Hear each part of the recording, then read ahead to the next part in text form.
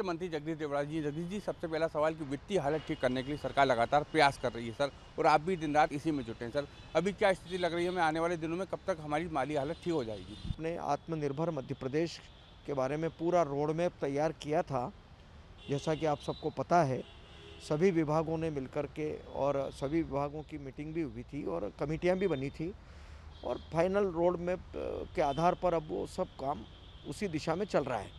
तो धीरे धीरे सारी स्थितियाँ ठीक होगी। सर अभी गोपाल भार्गव जी से बातचीत हुई थी उनका ये कहना था कि वित्तीय हालत ठीक नहीं है इसलिए पीडब्ल्यूडी काम भी स्व- स्वाभाविक है स्वास्थ्य विभाग के प्राथमिकता में है सरकार के। तो जो अन्य विभाग हैं जो अभी माली हालत जिनकी ठीक नहीं है उनको कब तक स्थिति उनकी सामान्य रहेगी? भली भांति सब लोग जानते हैं कि अभी सारे रेवेन्यू के ऊपर पूरा प्रभाव पड़ा है। सभी विभागों से जो राजस्व प्राप्त होता है उसमें कमी आई है तो धीरे धीरे स्थितियाँ ठीक होगी।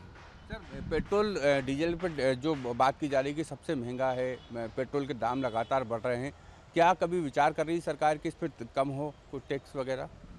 सारे विषयों पर गंभीरता से विचार किया जाएगा और जो भी जनहित में होगा, वो सारे निर्णय लिए जाएँगे। तो मंत्री जगदीश देवराज जिनका कहना है कि सभी बातों पर विचार किया जा रहा है, अनुपूरक बजट की भी तैयार किया जा रहा है, सबके लिए अनुकूल होगा। पेट्रोल, डीजल पे जो टैक्स की बात है, उनका कहना है कि सब पे विचार किया जा रहा है, जल्दी कोई फैसला सामने आएगा। कैमरा आशीष खरे के साथ जुगल किशोर शर्मा